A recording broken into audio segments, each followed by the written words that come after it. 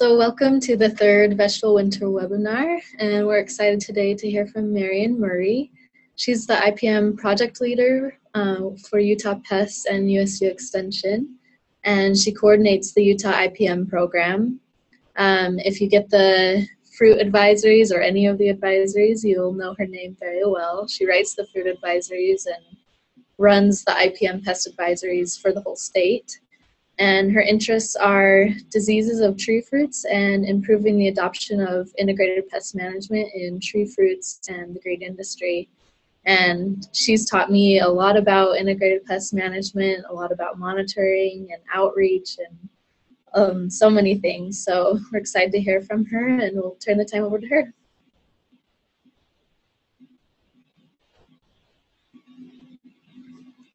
I think you might be on mute, Marion. Okay. Yep. Now I Thanks. Cami. Yeah, and we we so appreciate Cami bringing her on board. She's been with us for a year. Yeah. And has done a lot. So Thank thanks. All right. So we are going to cover um, biological control in Utah vegetables. And the first thing I wanted to point out is when you think about biological control or even the insects that occur, insect pests, about 80% of the control is due to beneficials um, and, and other factors. And that's a lot. And there was a study done out of Cornell that uh, looked at, well, what does this equate to in terms of a dollar figure? And it's about four and a half billion um, in services from biological control insects. So if you're interested in uh, focusing on pest management via biological control, it's a part of integrated pest management. So of course you want to know your crops, know your pests, and of course know the natural enemies that might be controlling them. But it's so important to implement preventive measures. So you have to start from the beginning when you're planting your crop, all the way even through winter, um, in creating habitat for those beneficials, so healthy soil and plants. And in some cases, you can augment some uh, beneficials. Um, but monitoring is super important, and you guys learned about that through Cami's um, webinar a few months ago. And there are some cases, though, uh, with biological control where you may need to uh, uh, apply some treatments. And there are biopesticides. So, kind of sticking with that whole theme because the predators kind of are lagging behind the peaks of the prey. So, there's that cyclical effect where they're not quite in sync. So, there may need to be some intervention. So what I'll uh, talk about are uh, some examples of beneficial insects, uh, how to conserve them, and then some resources that may help you uh, in your own endeavors. So when you think about the types of natural enemies that you see out in nature, uh, there's predatory insects, and of course they eat prey um, and they can feed sometimes um, as a, both a young and an adult. And then there are parasitoids that require a their prey in order to complete their life cycle. So they have a specialized uh, life cycle. And then there's pathogens like nematodes, viruses, etc. So I'm not going to focus on those. Just to um, talk about some examples of predators and parasitoids. All right, so some predator examples you know, a lot of times if I ask people, well, give me an example of a beneficial insect or a predator, and sometimes they'll may, they may say praying mantis is the, the first thing that comes out of their mouths. Um, but in reality, praying mantis is not a uh, huge contributor to pest control in the landscape or in the garden. It moves very slowly. Uh, it sits and waits, often by flowers. So you can see this guy has caught a um, honeybee and that's not necessarily what we want to uh, control. So they eat slowly, and when they're done eating, it's about a few hours before they take their next meal. So um, praying mantis, they're fun to watch, um, but they will feed on all kinds of insects. And like I said, they usually wait at flowers. Um, and, and walk very slowly. But it can be fun to see how they hatch um, from their egg sac. Now, they lay their egg sac over the winter, and then in spring, under the right conditions, uh, several hundred young um, mantids will emerge. And they need a food source right away, so often they're going to just eat each other until they can find uh, some different kind of prey. All right, lady beetles is the other most common um, beneficial that people think about. And there's so many different species of lady beetles, uh, different color variations. Um, and of course, they're all uh, very beneficial. They'll feed on aphids. Um, in the vegetable garden, spider mites, um, other soft-bodied insects, including leafhoppers. And both the adults and their young are predaceous. So wherever prey occurs, that's where they're going to be found. And I want to point out that one species of lady beetle, um, at least for me, is one of the most common that I see, and that's the multicolored Asian lady beetle. And you can identify it from the letter M on the, the pronotum there. Um, but it comes in color variations from yellow to bright red, no spots to many spots but it's a um, non-native and it's in some places it is actually taking over habitat and uh, space from our native lady beetles. Another species is uh, the Stethorus, and it's a lady beetle that is specialized against spider mites. So it um, is teeny tiny. If you can imagine the size of spider mites, which you hopefully learned from Cami, these uh, mites are also very tiny to see, but they're going to occur on the undersides of the leaves. All right, so in general, the lady beetles overwinter as adults, and then they emerge in spring, and they lay these clusters of bright yellow eggs. And again, they're going to be where the prey is found, usually on the undersides of leaves, but here on the left you can see uh, the aphids are uh, were so plentiful they're on the upper side of the leaves. Um, so the adults can live up to three months, so they're going to be laying eggs all throughout the season. And then, uh, like I said, there's many species, so the larvae uh, will look different depending on the species. And uh, they'll uh, right away off in search of prey. They're not as cannibalistic as the those praying mantids I mentioned. Uh, but when the larvae complete their life cycle, they will um, form a pupa, and in a few weeks emerge as an adult lady beetle. So a lot of predators will feed um, by piercing their prey and then they will inject saliva into the prey itself and that kind of um, pre-digests the contents in the prey and then they'll suck out those juices. So it makes it easier for them to consume um, individuals that are the same size as them or even larger than uh, themselves. You can imagine us eating something the same size as, as we are. All right, so I'll show you this picture and you can think to yourself, uh, well, these are eggs. You know, what, what might these eggs be? So they are eggs of a lacewing. So a lacewing is another very important predator of those soft-bodied insects. Uh, the difference with lacewings from lady beetles is that the adults do not feed on um, their prey. The adults just feed on pollen and nectar. So they require uh, these uh, blooming plants in order to, uh, to survive. Uh, but their larvae, they'll feed on the same things that the, the lady beetles feed on. And we have two species. At the top pictures are green lacewings, and the bottom picture is brown lacewing. And you don't often see them during the day. They, they are nocturnal, uh, so they'll be visiting the flowers in the evening. Um, but they overwinter as adults, just like the lady beetles, and uh, they lay the, their eggs on these silken stalks. And the brown lacewing will lay single eggs, shown in the left picture whereas the green lacewing, which is the most common, will lay those clustered eggs shown on the right. So this is what the larvae look like. Um, they have the sickle-shaped mandibles, and they just they really will munch their way through a colony of aphids, um, eating about 400 aphids in uh, the lifetime of a single larva.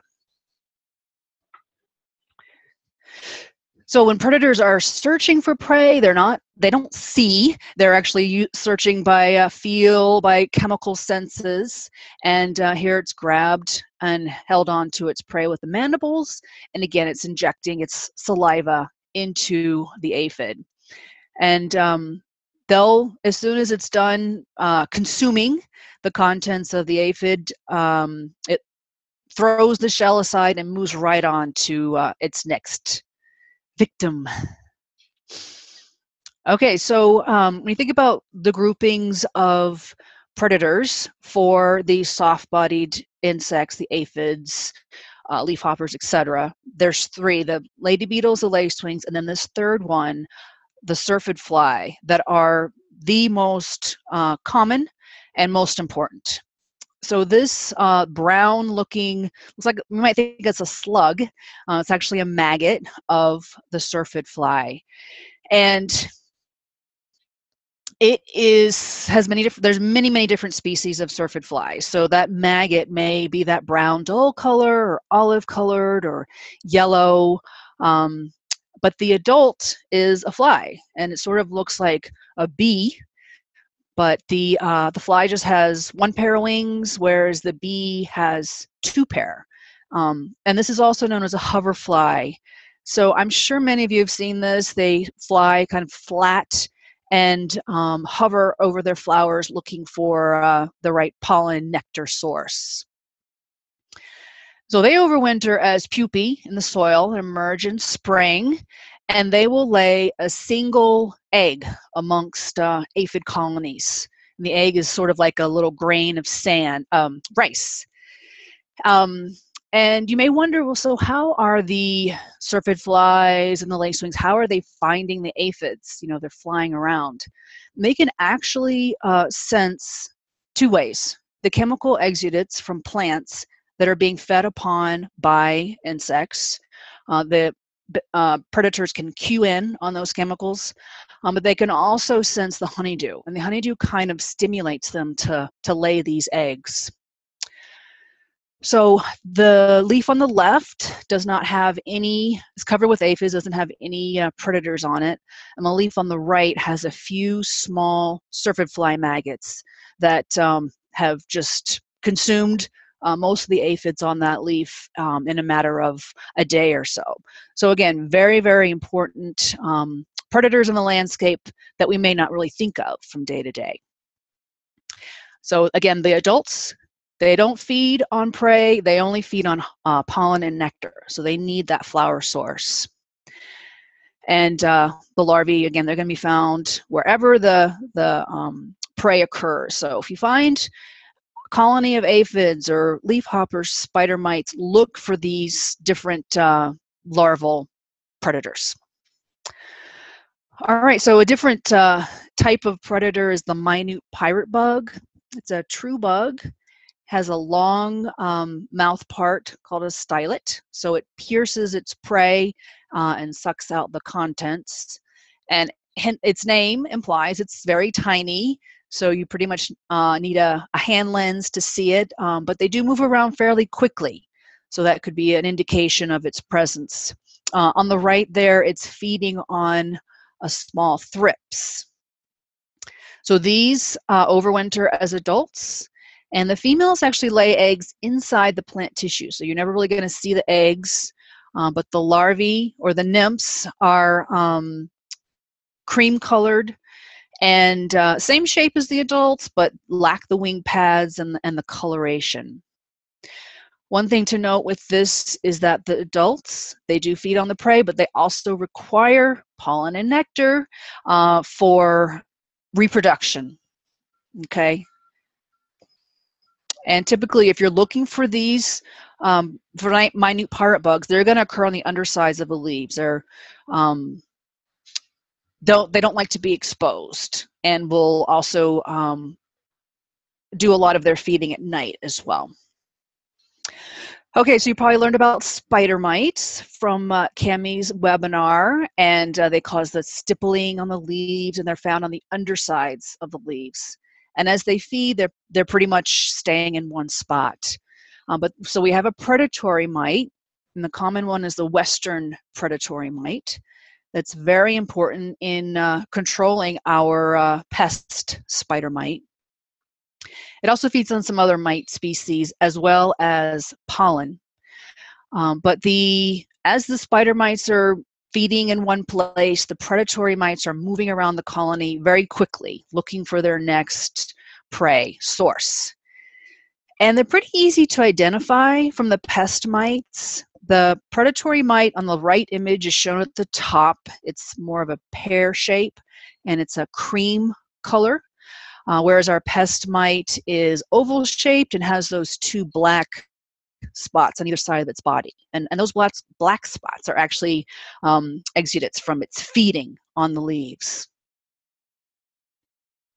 So here are some uh, predatory mites cleaning themselves and then off and attacking the, uh, the prey spider mites. So again, they'll feed the same way, injecting a, uh, a toxin that pre-digests the contents and uh, takes a while to consume, but again, very important um, predator of our spider mites. So there's no way to cover everything, all the beneficials um, in this webinar, but some others that are important to note are spiders. Many people don't like spiders, but they really do a lot uh, in terms of our taking care of uh, pest insects. Ground beetles doing a lot of work as well. You don't see them, they're under mulch, hidden in plant areas. Um, we have a predatory stink bug and also assassin bug, and, and there's others as well. So uh, now I'm going to switch gears to the other group of uh, beneficial insects, parasitoids. Uh, but in the meantime, have there been any questions that have come through? No, there are not any questions yet but feel free oh, to uh, ask. Uh, Cami, I can't hear you. Okay, can you hear me now? Hmm. Can you can you hear me? You don't appear to be on mute, but for some reason I'm not hearing you. Okay, one second. Let's um. Hmm. Okay, can you hear Just me now? a sec. Um, let me. Amy, I think it's going to be on her, on, and I got a everybody. feeling that she can't hear either one of us. Okay, Hmm. that's right. Um, let me. Should I just uh, tell her in chat? Yeah, Not that's actually that's what I was going to. That's what I'm doing now. Well, Okay. I think I'm just gonna carry on. I'm not sure why. How about now? Can you hear Can me? you? Yes. Okay. Yeah. So there is one question. Okay. Um, can you speak of specific insects for each fruit tree? Every single Um, fruit tree that, that grows in Utah. yes. well, that is a good question. And uh, what we, we should probably plan to do some of these webinars for fruit. These webinars right now are focused on vegetable pests, and this one right here is focused on the beneficials. So to talk about the fruit pests would be um, a completely another topic of conversation. So maybe the person that asked it could shoot me an email if there's a specific question. I would certainly be happy to address that. Okay. And a lot yeah, of the, yeah, I was going to say a lot of these beneficials I'm talking about, they apply across the board to a variety of different crops, and including uh, our fruit crops as well. Okay. Okay. All right. Thank you. Um, and then I'll put your email in the chat. And someone asked, why is the minute pirate bug called a pirate? Oh, wow, that's a good question. Hmm. I actually don't know. Minute pirate bug. Well, it's stealthy. it has kind of a black and white coloration. Who knows why some of these, uh, where some of these insects get their names? I think it has to do with its uh, stealthy, um, vicious attacks on its uh, prey. All right. Okay. So we'll Should move be- along. Okay. Oh, wait, actually, Oh. sorry. There's one more. Um, to avoid impacting beneficials, does that require abstaining from all pesticides, or do you have an example of a pesticide that can be used that will effectively control a pest without harming beneficials? Yeah, that is a good question. Um, I will I will touch on that a little later, but there's lots of um, biological pesticides that would be used if you're using biological control, and they specifically will target certain pests. And uh, so the beneficials a lot of times won't be affected. So they're considered selective uh, pesticides. And then also it's the timing of when um, certain pesticides might be applied that um, won't affect the beneficials. Like horticultural oil if you're going back to the fruit tree example, applied during the dormant season will really take care of a lot of the pest eggs, but have no effect on beneficials because they're not active at that time of year. Um, but certainly, yeah, there's there's others. Um, spinosad is another example. It um, contains a metabolite of a naturally occurring soil bacterium, and again, it's specific to certain pests, but a lot of beneficials may not be affected by it.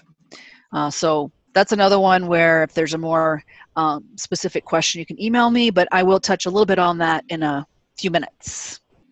Thank you. Okay. That's all right. Thanks.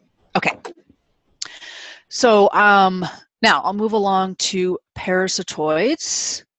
Okay. So by parasitoids, what I mean is um, they're groups of insects. They can be wasps, flies, um, and some others that need to complete their life cycle inside or on top of uh, their prey. So here, for example, um, is a life cycle of parasitoid wasp targeting aphids. So it needs to lay its egg inside the aphid, and then the larva of the wasp grows in the aphid, and the aphid is actually still alive during this period. It's still feeding until the point at which that larva needs to um, pupate or change into the adult wasp, and then it will emerge. So uh, just like some of those other um, predators I mentioned, the parasitoids need pollen and nectar to survive. It's only their young that feed on the prey. So here is a uh, parasitoid female wasp laying a single egg inside uh, her aphid prey and somehow she knows if an aphid already has a larva in it, already has an egg in it. She's going to skip that aphid and move on to the next one. Um, but she'll lay up to 200 eggs, so you can imagine uh, the single female taking care of a large colony of aphids. So then the uh, larva develops inside the aphid and then will uh, chew its way out and emerge as a, an adult wasp. So the Mary, yes, I have a question that I missed. It was, how do you know for sure if the eggs you are seeing are good or future bad villains? Okay, so general eggs on, say, a leaf, for for example, um, it's you don't know until you have learned about the biology of those insects. So um, a lot of them you know it's taken us a few years to really kind of get uh, an understanding or feel for what's good what's not. So you really have to get out into your garden or farm with your hand lens and look. And uh, you'll find it's a little time consuming but it's also a lot of fun. So find some eggs. You could even um, just watch them day to day see what they hatch into. Um, but a lot of the eggs that i've shown you the bright yellow ones are lady beetles uh, the grains of rice are the syrphid flies. You will, they're pretty easy and you will get to know uh, or become familiar with them. All right. Okay, so um, back to the parasitoid wasps.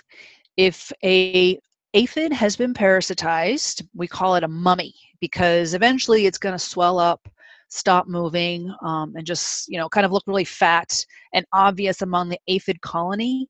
So there on the top left you can see those dark uh, tan fat aphids. Those have all been parasitized so those are all aphid mummies.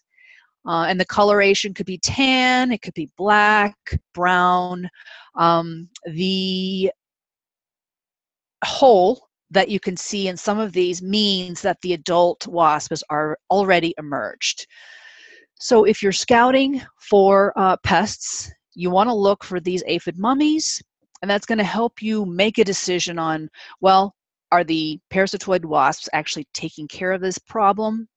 Or do I need to intervene, um, maybe with some insecticidal soap or horticultural oil? All right, so the parasitoid wasps, they can be focused on aphids, but they can also, um, there are hundreds and hundreds of different species. So some will only lay their eggs um, in beetle larvae, um, even in other wasp larvae or caterpillars. So the, the size can be minute for these wasps up to fairly large.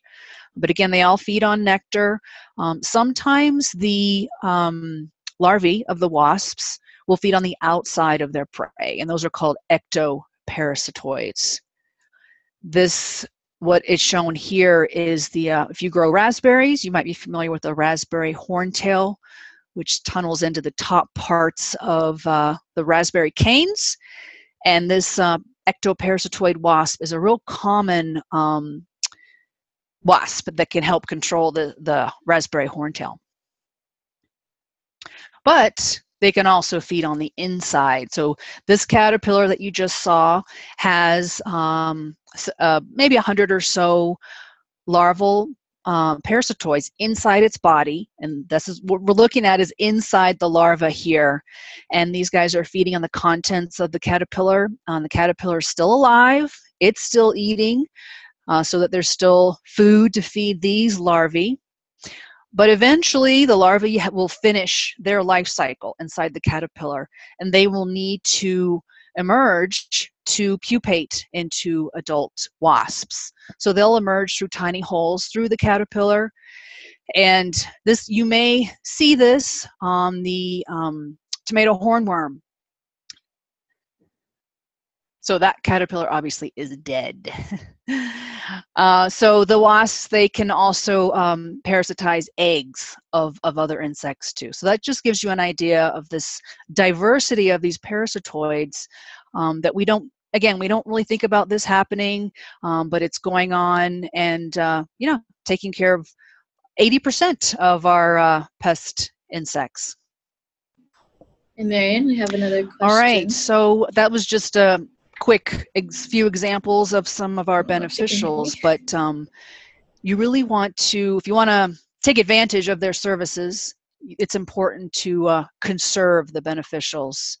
So, um, Cami, have there been any question, any more questions that have come through? Yes. Can you hear me? Yes. Okay. Um, what are your thoughts on use of neem oil on vegetables? Would it be okay to eat? Yeah, neem oil is um, uh, touted to take care of all kinds of different pests, including powdery mildew. I wouldn't say it's the um, the most effective, but it certainly can be used, and um, the fruit can be eaten within about four hours. So it's it's very safe to use if that's what you would decide to to use. The issue with the neem oil is that it needs to come into contact with whatever pests you're trying to manage. You can't just kind of lightly spray the surface of the leaves and think that it's going to do its job. So you just have to make sure you get nice, good coverage um, on the entire plant. All right. So anything else? Nope, that's okay. it. All right. Thanks. Okay. So when you want to conserve um, your beneficials, the terminology is conservation biological control. And it's kind of a a mindset of how you're going to manage your whole uh, farm, vegetable plot, etc., in ways that are going to promote and encourage this beneficial or biological control. So, what I mean by that is providing um, plants that give nectar and pollen, and that can be through insectary strips or plantings along the borders of your farm. And a lot of insects, they need shelter and they need places to overwinter as well. So that can be done through um, grass banks, hedgerows, um, not tilling, kind of leaving that debris, uh, using some certain organic mulches and cover crops. All of that will provide that shelter uh, overwintering sites. And then we had that question about, well, you know, certainly pesticides, a lot of them can kill the beneficial. So protecting the uh, not only the habitat that you're planting, but also the crop um, by reducing your pesticide use. So there's been a lot of research showing the benefits of um, these this conservation biological control. So this uh, was out of Mich Michigan State University, where they showed that increasing the amount of vegetation and also the structure in terms of uh, shelter resulted in the highest um, effects of predation on this particular pest. They were looking at imported cabbage worm. And even in uh, California, they've done a lot of research on planting hedgerows along the uh, borders of farms. So in this example, they just looked at, they wanted to see what was the uh, difference in the number of beneficials and the number of pests found in these hedgerows. And the presence of the beneficials far outweighed the pests.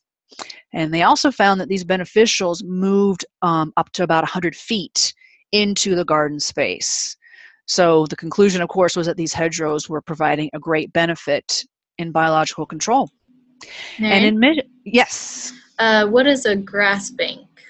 Okay, yeah. So I'm gonna get to that in one second, but it's essentially a long strip, narrow strip, up to 200, 300 feet of certain grass species, and the idea is that it's protective area for ground beetles. They'll stay in that grass bank, and at night, um, move out into the farm or garden to prey on a lot of the soil dwelling pests. Awesome, thank you. Yeah, I'll show a picture of that in a sec. Uh, so Michigan, um, they wanted to see, well, really, how, what's the percentage of these various um, beneficials that are actually visiting flowers, and found um, a huge diversity in the beneficials. And uh, the minute pirate bug was one of the most common the um, chalcidoids, the parasitoid wasps, lady beetles, etc. So constant visitation of flowers by uh, by beneficials. And I don't expect you to, you know, quickly get all this information from this slide. Um, but what the, the, these are some of the flowers that they were looking at in Michigan. Uh, the top three would be ones that bloom in the spring, and that number there is the average number of beneficials that uh, visited those flowers per day uh, when it was in peak bloom. So um, let's see, the bottom bar is summertime. So Monarda or bee balm, very popular for the beneficials, uh, lobelia, goldenrod. So um, it's a, this the idea of this uh, slide here is just to show the importance of having a rotational uh, bloom period throughout the season rather than focusing on one particular time period. But in general, the types of flowers that are most visited by beneficials are ones that have uh, exposed nectar, um, small flowers, kind of a flat top, um, because these beneficials are small. They're not going to be visiting the large, um, I don't know, daylily or rose type flowers. They want these very small um, flowers. On the bottom left is alyssum, uh, dill, cilantro, coriander, buckwheat. All of those are, are excellent choices. So here are examples of the insectary strip. And it's so it's just how it sounds. It's a strip, narrow strip through the garden, alternating uh, rows, um, and it can be up to 50 feet or so from the next insectary strip. And again, a mix of uh, flowers or like alyssum, one that blooms for a very long period of time would be the optimal choices. And again, the downside with this whole thing is that you're taking up space from your farm and you are also needing to maintain these uh, uh, beneficial plantings. So those you kind of have to weigh the um, benefits and the costs of those two uh, ideas. All right, obviously border plantings are going to be around the outer edge and they can be a mix of um, shrubs, trees, and uh, perennials. So all of those have been shown to be effective Now, on the top left, there's that uh, example of a grass strip. Now, the name that people refer it to is called a beetle bank.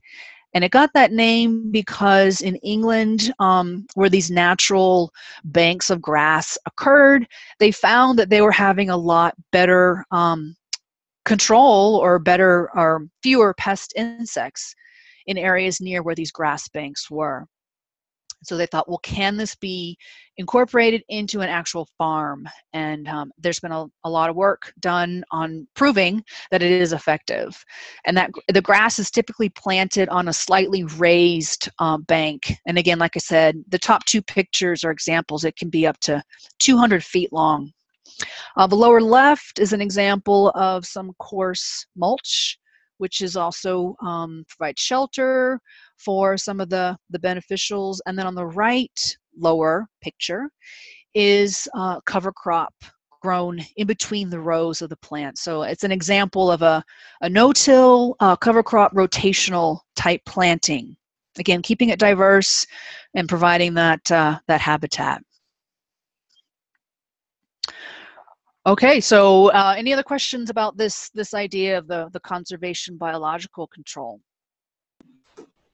No questions for now. Okay, all right, mm-hmm. thanks. Uh, so yeah, so uh, oh, actually, a yeah. couple just came okay. in. Um, doesn't mulch also provide protection for pests? Yes, and I was gonna mention that, but uh, hey, so lygus bugs um, will uh, find cover in in mulch and lygus bugs feed on uh, flowers and um, get inside of say broccoli etc uh, let's see um, oh i'm just not thinking of another pest insect off the top of my head but again it's this uh, kind of balancing um, the costs and benefits, but also using multiple practices. So if you're just going to use, you know, a heavy coarse mulch and nothing else, then you might uh, find that it's not really that successful. But if you're using some other practices, mixing in um, these different habitats, then over time you'll start to definitely see the benefits. Thank you. okay, was there another one or no? Yes, you mentioned neem oil and spinosad. How effective is Tanglefoot sticky tape stuff?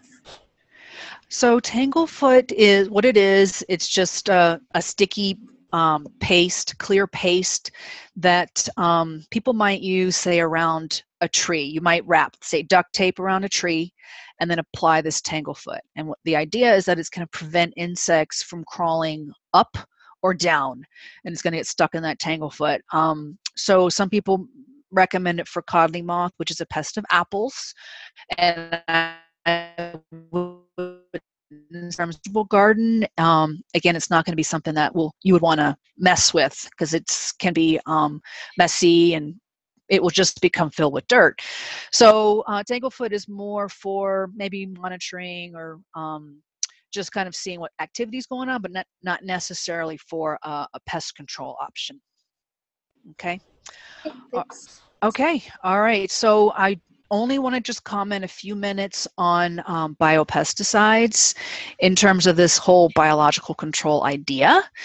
So there are dozens and dozens of different biopesticides. And what they are is they are made from other living organisms. So some of these names you might rec- uh, recognize. So on the top left, bacillus.